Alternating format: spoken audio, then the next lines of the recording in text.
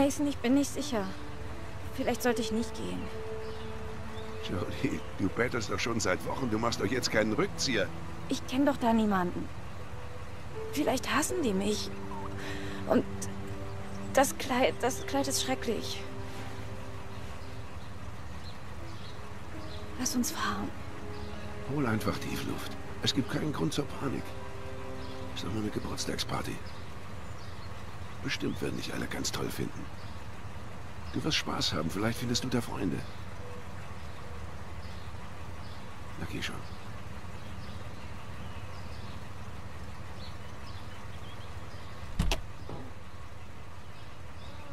Oh, das Geschenk musst du mitnehmen. Ein Buch, Gedichte von Edgar Allan Poe. Es ist 50 Jahre alt und sehr selten, das wird dir gefallen. Keine Sorge. Alles wird gut gehen. Ich bin dann um fünf da. Viel Spaß.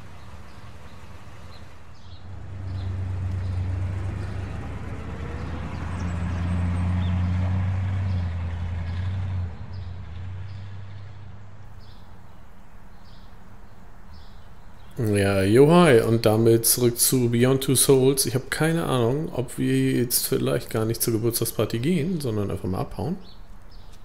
Dumm, die dumm. Hm. Nein, wir gehen zur Geburtstagsparty, ich verstehe. Okay, letztes Mal schon ein bisschen verkackt, weil Steuerung nicht verstanden, hatte mich auch überhaupt nicht informiert über das Spiel.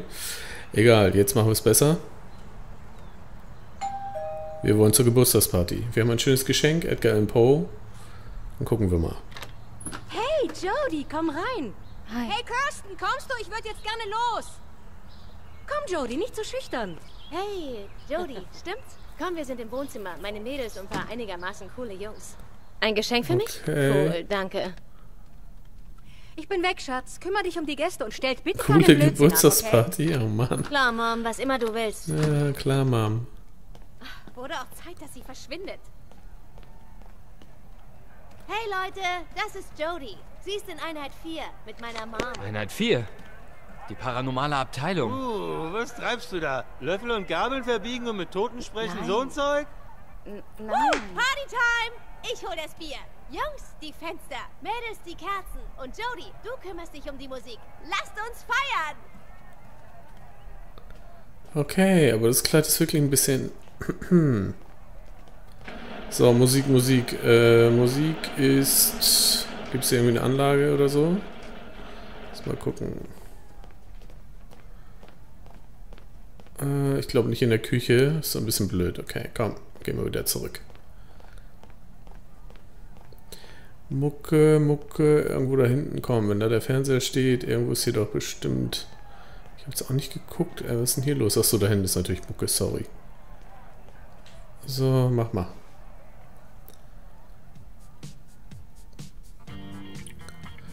Äh, Country auf gar keinen Fall. Ja, dann vielleicht doch eher Rock, ne?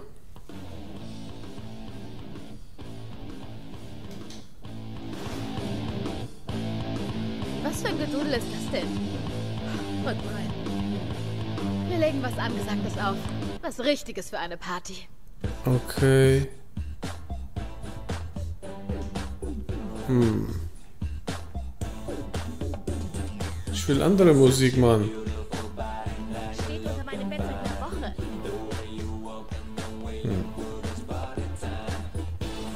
Meine Mom Okay, so Bier, ne? Okay. Sie ist total ahnungslos. Kirsten, total genial. Jody, du auch eins? Äh, klar. Ja, Was denkst klar. du denn?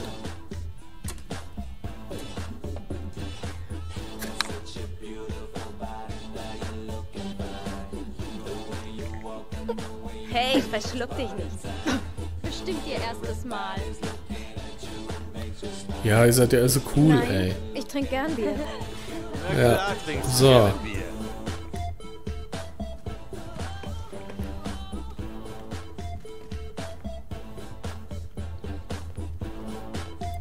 Können wir ein bisschen abdancen? Äh. äh, So viel zum Thema Abdancen. äh, lass mal zurückgehen. Hier, komm hier. Können wir ein bisschen abhotten?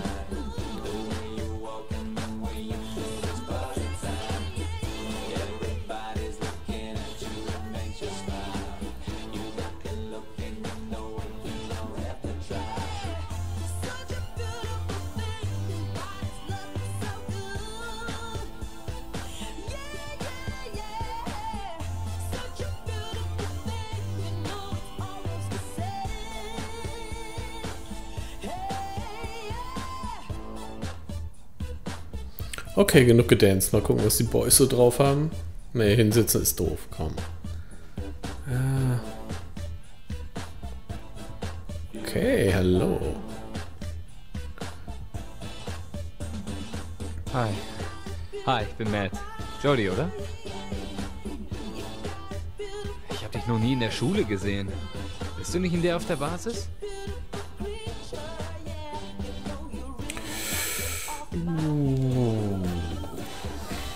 Ich bin da in so einem Programm mit eigenem Lehrer.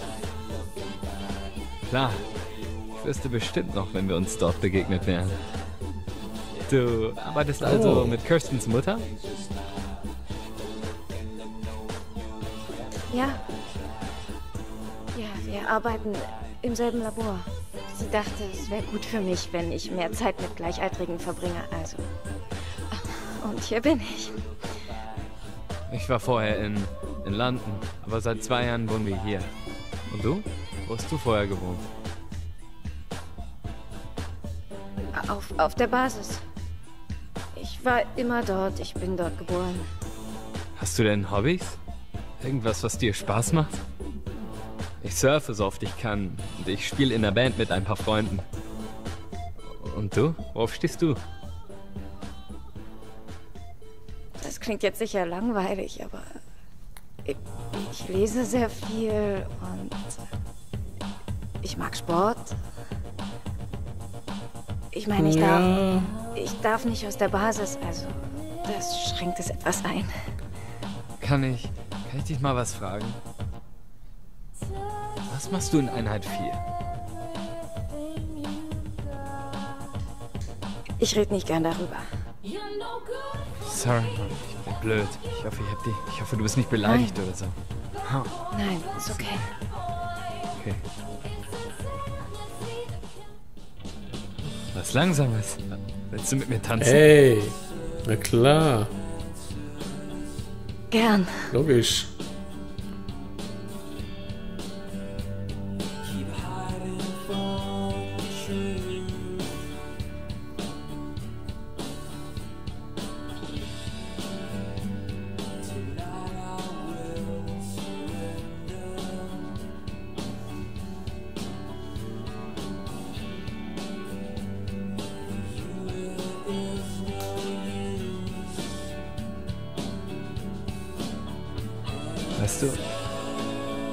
Hörst du das ständig, aber ist echt hübsch, weißt du? Sagst du das eigentlich zu allen Mädchen? Ist nicht wie die anderen, ich meine. Du hast was wirklich Besonderes an dir. Ich finde, du bist auch besonders. Äh, hallo? Hände weg, Digga. Genau.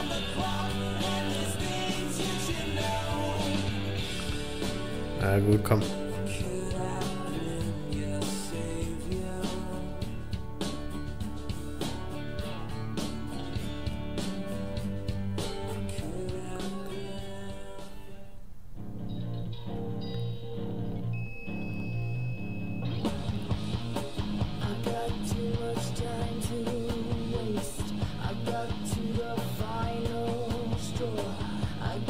Tja, ein Bierchen, ein Kuss. Kling.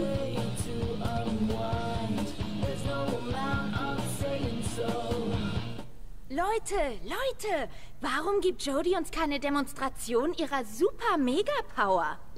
Nein. Klasse Idee. Nein, das wird der nein, Knaller. Ach, vergesst es. Das ist doch nur Mist. Ja, komm, Jodie, zeig uns, was du kannst. Okay, Jody, dann zeig doch mal was. Hm.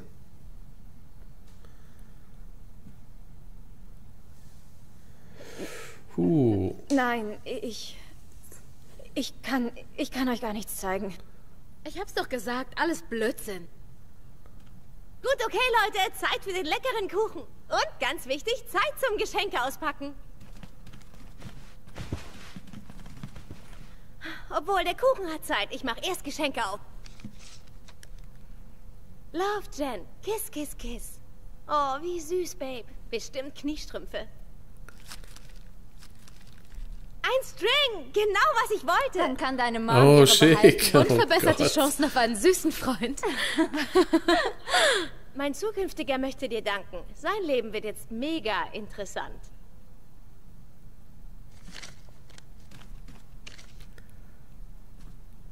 Was ist das?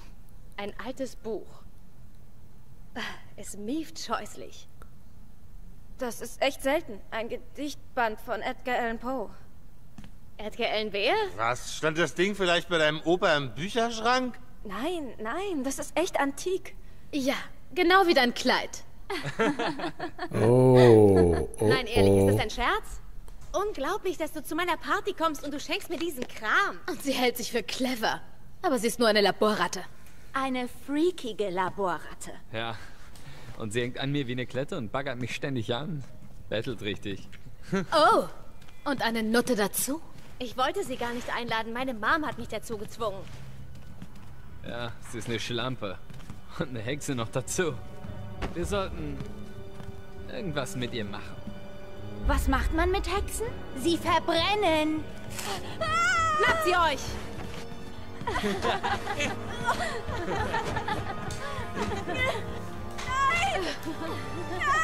Oh, Meisterin der obskuren Dunkelheit. Bring uns deine mächtige Magie. Oh. Er stand ja schon, als sie vorhin reinkam. Ich bitte euch! Bitte lasst mich raus! Gab's nicht noch Kuchen? Bitte, ich will Die Action macht einen wirklich hungrig. mich raus! Ja, machen wir endlich Party!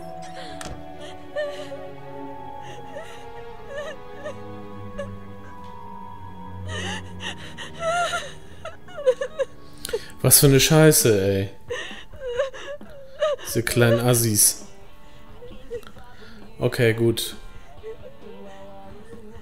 Da müssen wir doch unsere Kräfte einsetzen.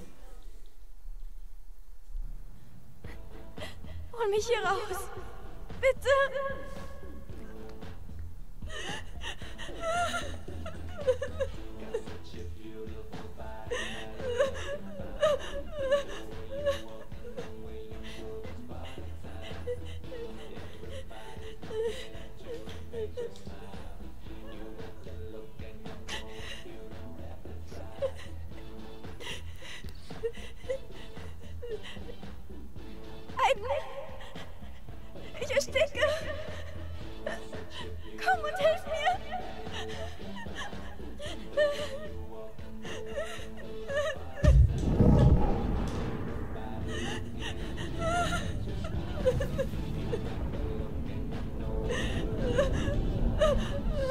Okay, Tür aufkriegen, ne?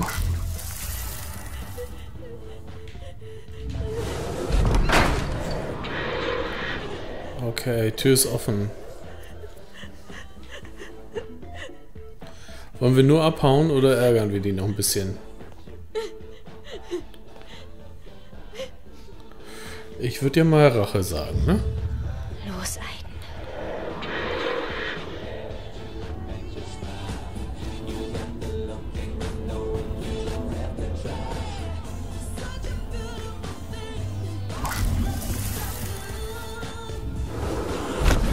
Katschau! So, lustig. bisschen Mucke anmachen. Nee, das war ich nicht. Ich hab nicht gemacht.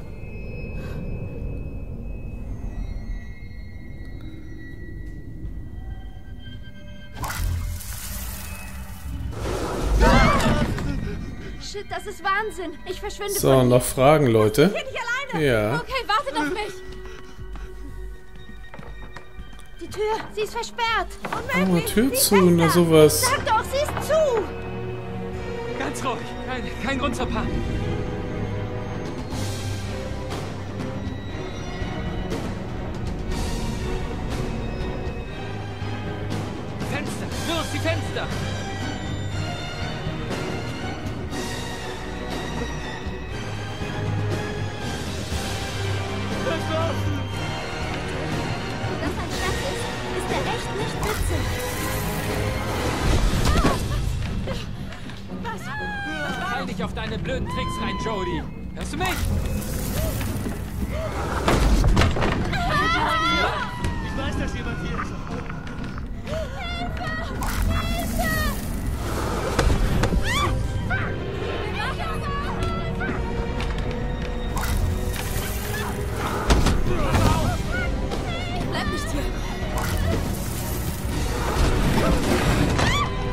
So, noch Fragen, ihr kleinen Miesen.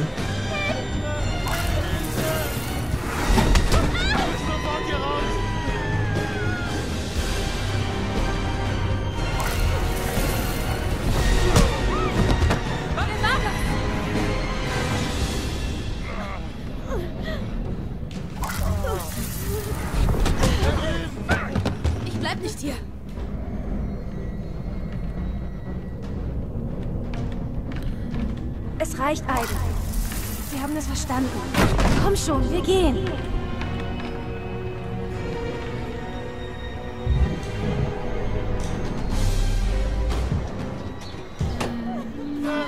So. Oh. Ist aber blöd. Die kleinen miesen Assitinis, ey.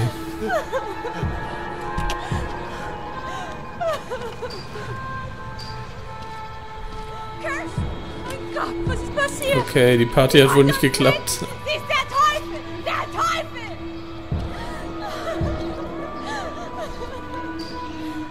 Komm mit, Johnny. Gehen wir nach Hause.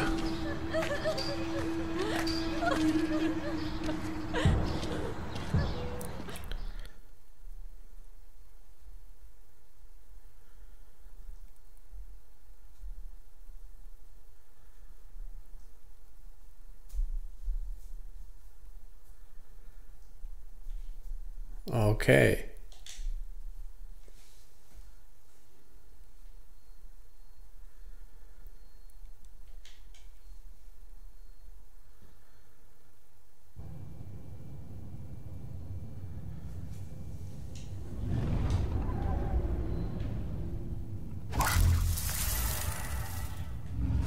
Lass das Alp. Wegen dir haben wir Ärger. Also hör jetzt auf. Hm. Er übernimmt für Dr. Matthews. Er wird sich also ab jetzt um dich kümmern. Er scheint sehr nett zu sein. Na komm, er will dich sehen. Na los, geh zu ihm. Ich warte hier, Schätzchen.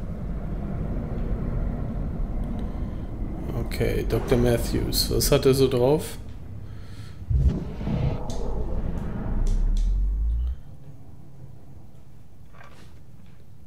Gehen wir hin. Jody, er wartet auf dich. Ja, geh ja schon. Hallo, Jody. Komm rein.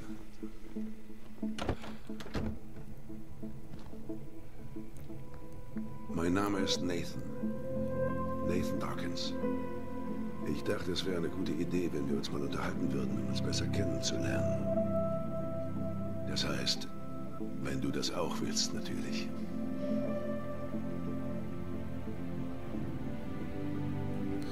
Okay, setzen wir uns mal hin, wa? oder? Gehen wir...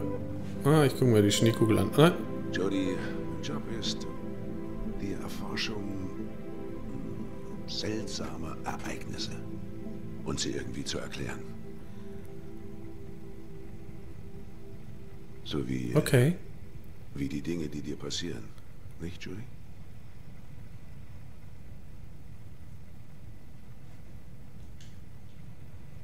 Deine Mutter sagt, du hast einen unsichtbaren Freund.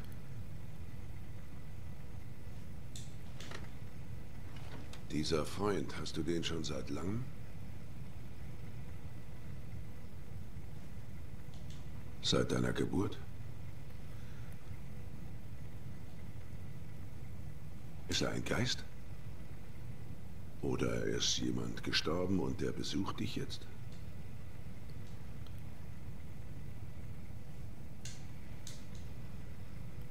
Kannst du ihn äh, für mich malen?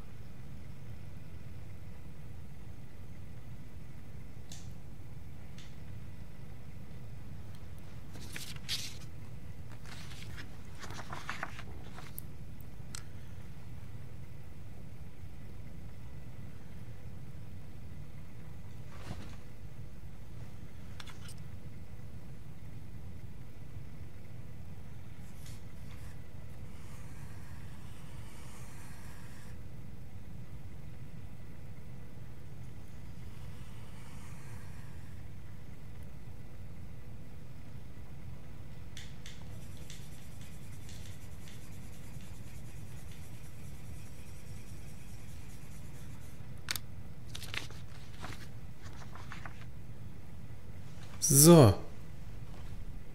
Stürzt dich, wenn ich es ansehe?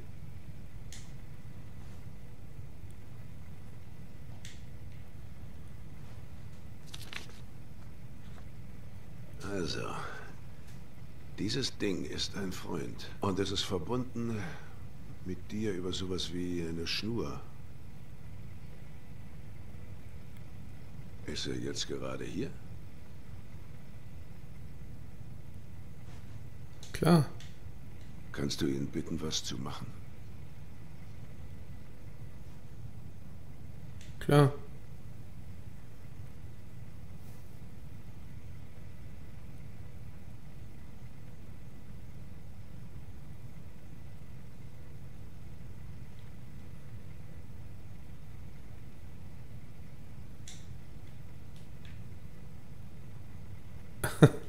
hallo, hallo? Jemand zu Hause?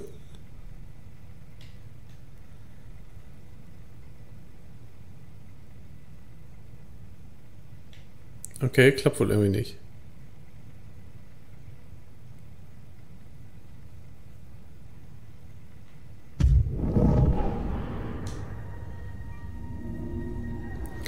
Ich lasse mal hier nur so ein bisschen was kippen, oder? Oder ein Buch klappen. Nein, ich... Das da drüben ist gut.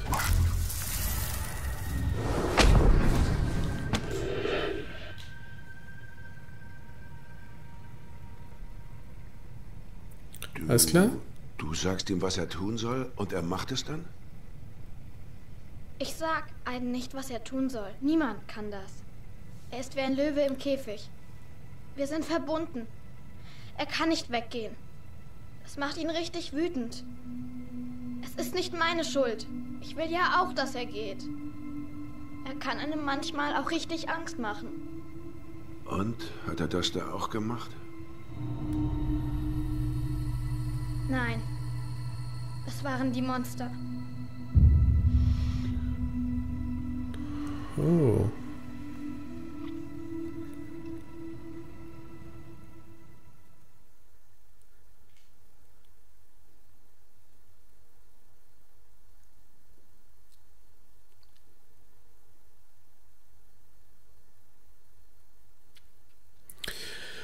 Okay, das soll es dann mal gewesen sein für diese Session. Mehr gibt es halt beim nächsten Mal, okay? Also ist ja sehr, sehr interessant. Ah, mal gucken. Also, bis dann, ciao.